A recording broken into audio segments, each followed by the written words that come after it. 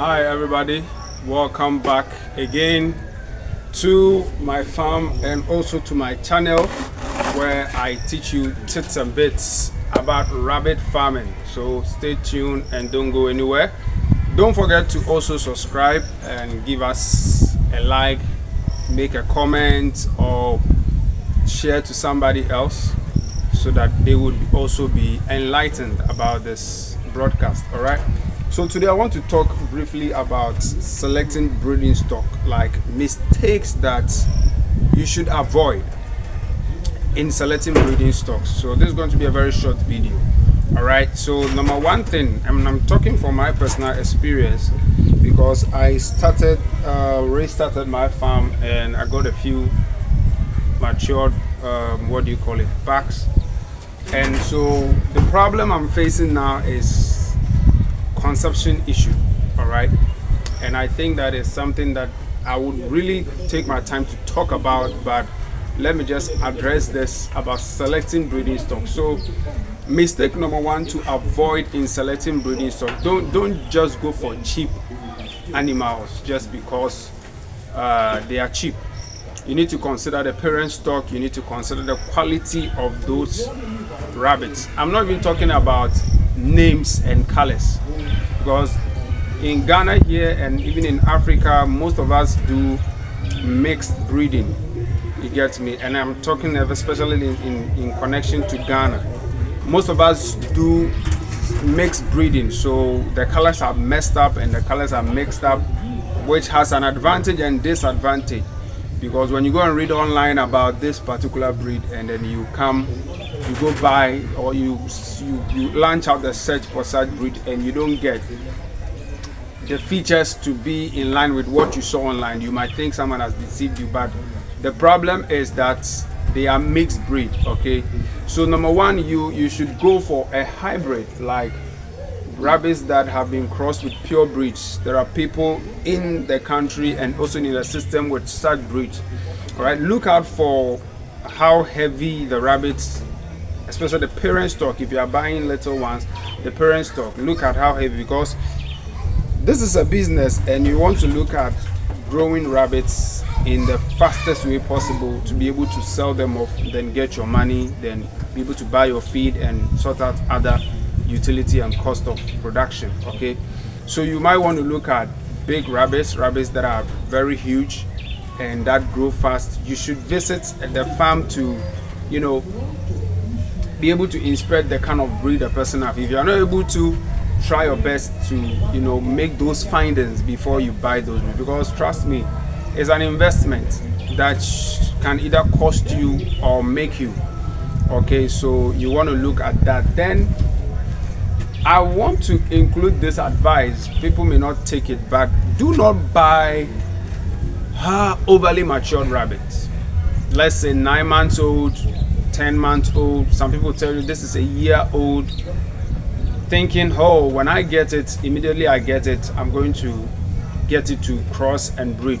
Because sometimes some farmers are not honest. They will, they will tell you the rabbit is nine months, meanwhile it's one year will tell you that oh it's eight months meanwhile it's maybe two years because you can't really tell much sometimes you can use the nails to tell but it doesn't speak so much so i would always advise people to go for younger rabbits all right? Like three four months especially when you know they are young and not matured for mating. Okay so that you can groom them yourself the way you want it so that they can pick up with even the feed that you feed at your farm. Okay so that they'll be able to when the time is right for you to cross them it should be possible.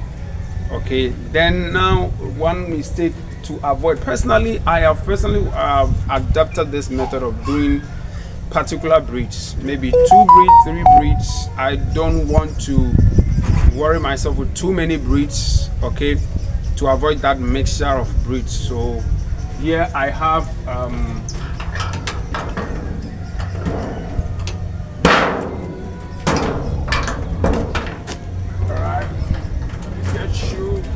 so these are English Spot slash checkered all right? They're not fully checkered so these are the breeds that I'm trying to specialize in breed them more and then also the new Zealand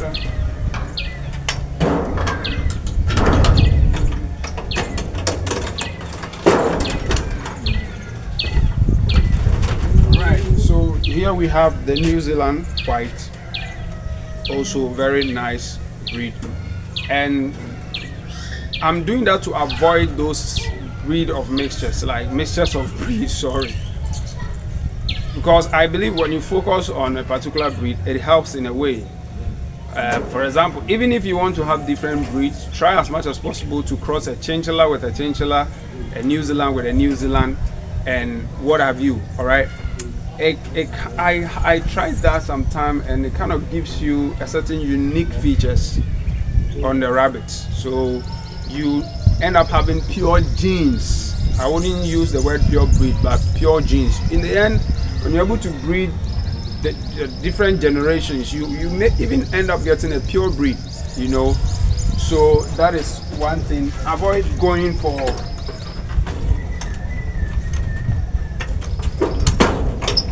as much as possible avoid buying mixtures of breeds all right? For me i think it doesn't help. So when you want to focus on new zealand focus on new zealand. And even if you have to have different breeds at your farm make the breeding plan such that they are coming out of a pure line or a pure genes okay? So the combination will be very you know unique. Then another mistake to avoid when selecting breeding stock. Hmm look out for disease prone uh, farms. Watch out for that because there are some farms that there may be a disease at the farm. You know we've had situations where people are clearing their farm due to an uh, an attack on the farm. If you are not aware and you go and buy those rabbits you end up coming to spread those diseases at your farm. So if you can go for rabbits that are strong and healthy, not somebody who is just laying his rabbits off because of a, a disease attack. All right. Then another thing you want to avoid is what? Um. Yeah. So basically, that is it. Don't joke with your male breeder or your backs. They should be huge they should be big because they are the ones that influences or have a bigger um, what do you call it? In terms of genes I don't know whether to use the word chromosomes and all that. I think they have the bigger chromosomes because they get to you know pass on their trait more to your breeders or to your kids that will be born more than even the doe.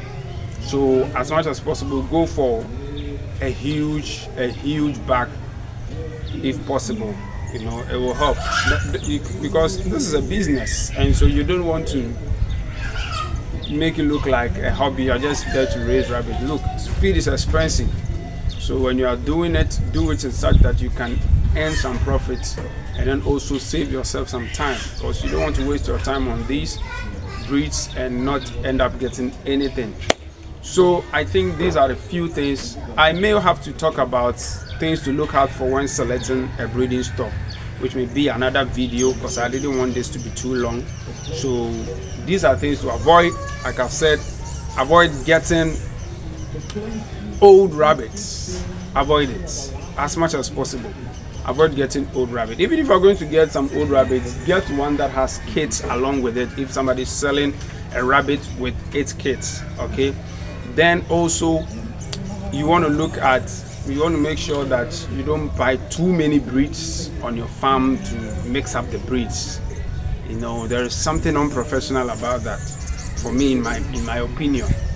All right then also avoid going for farm uh, for for rabbits from farmers that have disease issue. So that's why when you're able to visit the farm you can tell what is wrong at the farm sometimes this ear mite and then ear canker is so so contagious that once you go get it from another farm to your farm it's it's crazy you battle with it for a long time before it finally leaves your farm so you want to make sure that it's a disease free animal you are bringing or the source of those animal is a place where there are no diseases. All right. Then also go for good bags. The male ones go for good bags that can pass on their fast growing traits to your kids or the rabbits that you produce. All right. I hope that this was enlightening to somebody. I remain Damoos, and you can always reach out to me. You can look up to my WhatsApp and then can DM me for any advice, any consultation on rabbit farming. Just also let you know that we construct rabbit cages and then we also do ceramic feeders. All right, like for example, this is a ceramic feeder, mm, very nice and heavy enough. All right. Then we also do cage constructions, like you are seeing exactly as this all right we'll talk about cage construction in another video but for now thank you for watching and i hope you subscribe. Don't forget to give us a comment a like and also share to any rabbit farmer especially somebody wants to start so that we can all grow together. Thank you for watching and see you again.